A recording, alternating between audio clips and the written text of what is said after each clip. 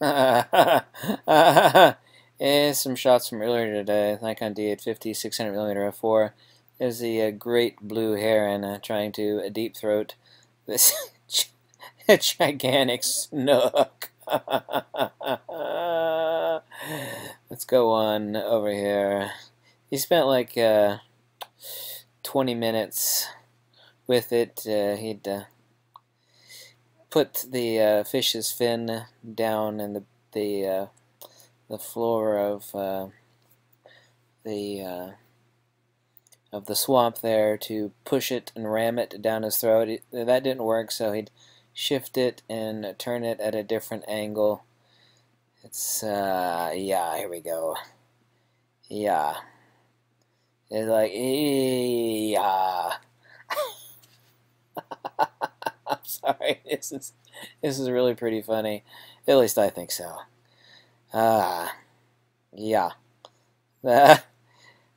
I uh, didn't get too many shots of it uh, in his throat. I forgot to bring that image up, but uh, yeah, his uh, throat swelled up about as big as his body there for a little bit. Let's see here. Oh yeah, this is this is uh, kind of funny because uh, you can see the fish's eye. The fish has that oh shit look on his uh, face. The fish is like, "Oh, it's over with, man. It's it's all over." Uh, okay. Yeah, here we go. Let's see. Uh, here's where he's uh, trying a different way to ram it down his throat. Yeah, it's not happening. It's not happening this way. We gotta we gotta ram it in at a ram it in at a different angle. Here's where he finally, uh, yeah, yeah, there we go. Anyway, on a side note, uh, very unusual for summertime.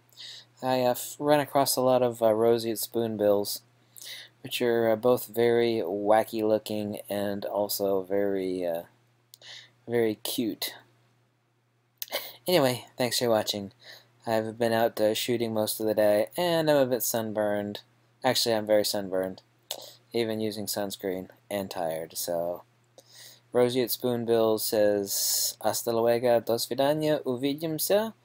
Catch you later, and aloha. Peace out, Girl Scout.